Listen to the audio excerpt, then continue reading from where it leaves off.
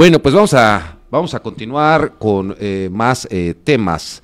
Un amparo. Este está, este es un temazo, temazo, porque pues ya no sé ni cuánto tiempo lleva prófugo, creo que eh, la orden de aprehensión le fue girada desde el 31 de agosto del 2021 por los delitos de delincuencia organizada y lavado de dinero en contra del ex rector de la Universidad Autónoma del Estado de Morelos, Alejandro Vera Jiménez. Todo esto relacionado con pues, lo de la estafa maestra, la famosísima estafa maestra. Bueno, pues, ¿qué cree?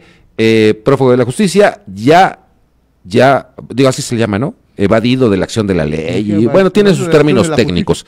Pues ya le dieron, ya le otorgó un juez federal un amparo. Jorge Espinto la comenta. Así es, el presidente le llama sabadazo, el clásico sabadazo.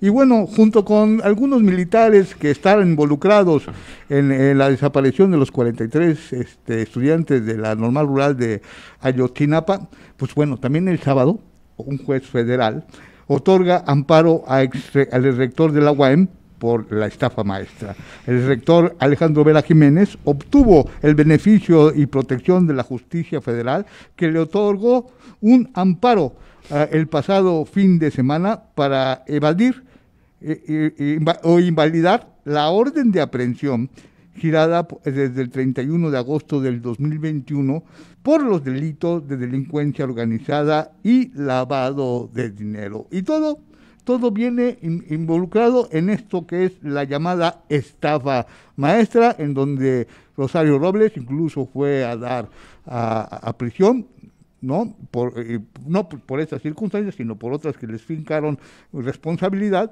pero todo tiene que ver con esto de la estafa maestra. Y el clásico sabadazo, como dice el presidente Andrés Manuel López Obrador, se dio el pasado fin de semana, en donde un juez federal le otorga el amparo al rector de la UAM, eh, Alejandro Vera Jiménez, para que pueda invalidar esta orden de aprehensión que le estaba dando muchos dolores de cabeza a él y a muchos que lo involucraron en este, en este asunto de la llamada estafa maestra, que después de este amparo que les otorga el juez federal, yo creo que van a andar muy contentos. ¿qué alcance, ¿Qué alcance tiene el amparo? ¿Eso significa que ya no puede ser aprendido? Por, por lo pronto, mira, el juez determinó que, la, eh, que su aprehensión, la orden de aprehensión, estaba, no estaba fundamentada ni, ni bien motivada.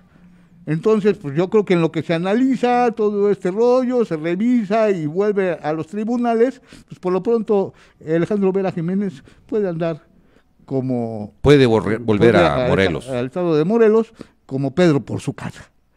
Bueno, no va a ser tan fácil tampoco, pero bueno. Pero por lo pronto no tiene el beneficio de la justicia federal para invalidar esta orden de aprehensión por lo pronto.